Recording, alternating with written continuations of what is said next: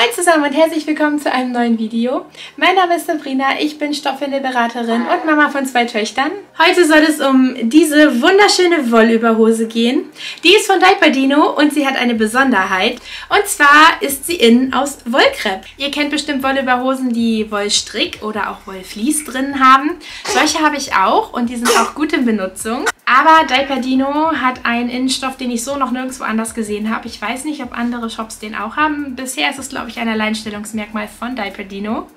Und zwar ist das Wollkrepp. So sieht der Wollkrepp von innen aus. Ihr seht, das ist eine völlig andere Struktur als Vlies oder Strick. Erstmal zur Verarbeitung der Windel an sich. Wir haben uns für dieses zauberschöne Eisbärenmuster entschieden. Oh, ich bin so verliebt. Das ist auch ein Wollstoff außen. Im ersten Moment erschien sie mir ehrlich gesagt sehr, sehr wuchtig. Ich ähm, empfand zum Beispiel das Rückengummi hier als sehr breit und sehr, ähm, ja, voluminös. Aber wir schauen mal, wie sie sich am Kind macht.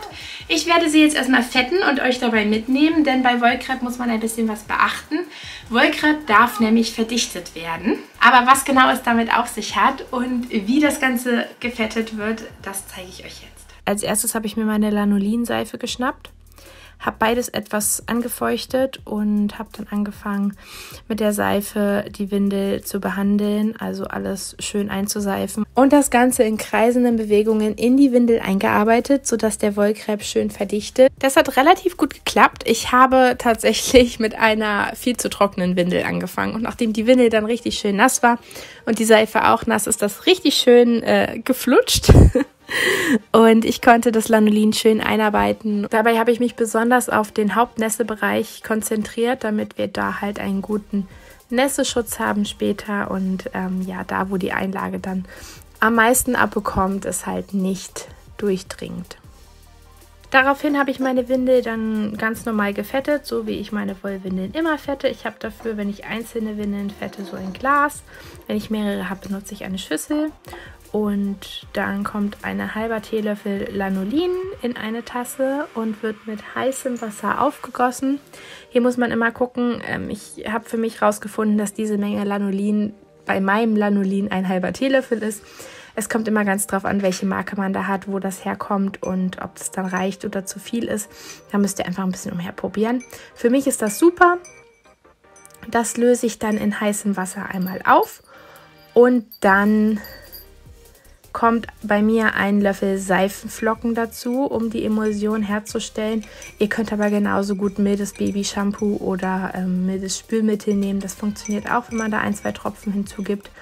Im Endeffekt sollte dann eine ja, milchige Flüssigkeit entstehen, eine Emulsion.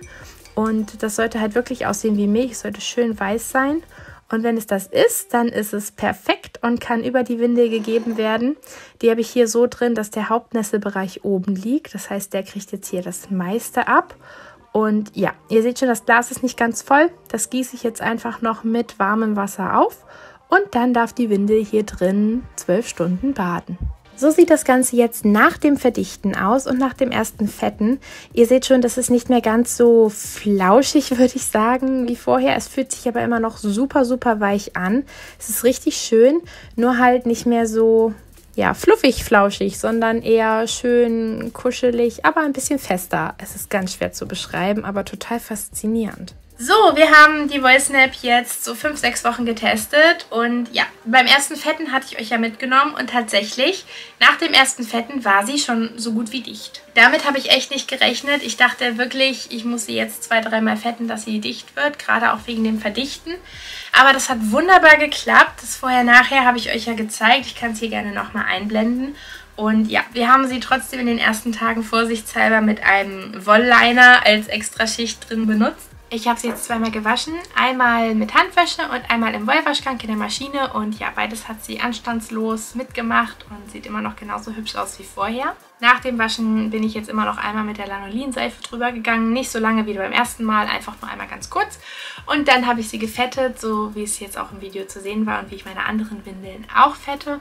Und seitdem ist sie einsatzbereit und hält dicht und ja, ist wunderschön. Ich bin total begeistert. Wir benutzen sie wirklich super, super oft. Hätte ich nicht noch andere Videos geplant, wo ich noch andere Windeln für teste, dann würden wir sie, glaube ich, durchgehend die ganze Zeit benutzen.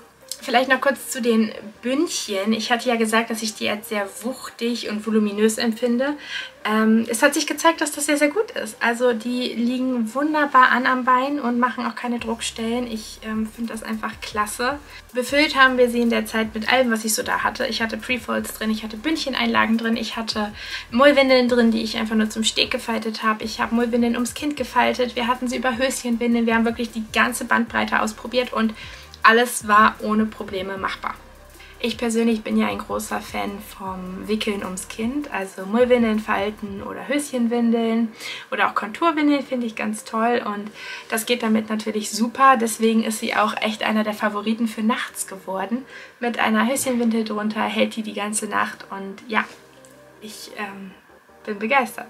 Von mir gibt es definitiv einen Daumen nach oben. Dadurch, dass er verdichtet werden muss, verzeiht der Wollkreib echt viel. Er lässt sich gut säubern und ich glaube, daher ist das eine gute Alternative für Eltern, die gerade anfangen mit Wolle zu wickeln und sich unsicher sind. Ich brauche auf jeden Fall noch eine Newborn-Windel für mein Mietpaket. Übrigens ist diese Windel komplett selbst gekauft. Ich arbeite nicht mit Dalpadino zusammen, zumindest nicht was finanzielle Sachen angeht.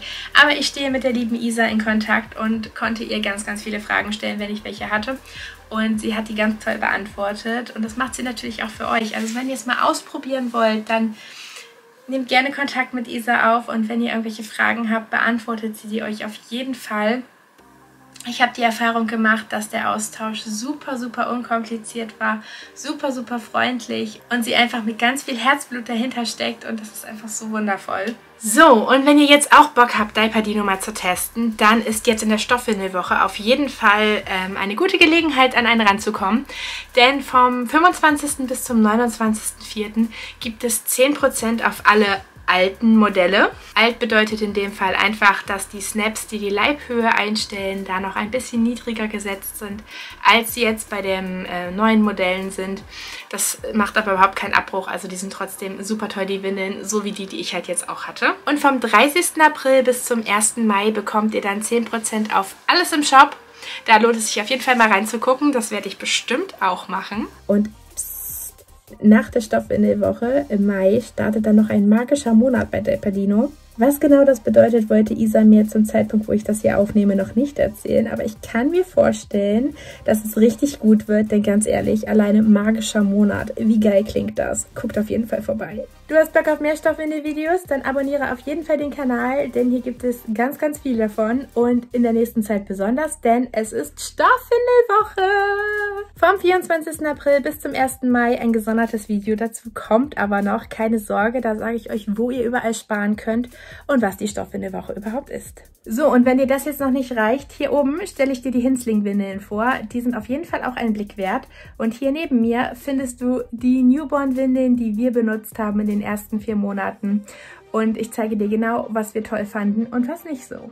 Ich freue mich, dass du dabei warst und wir sehen uns nächstes Mal wieder. Ciao!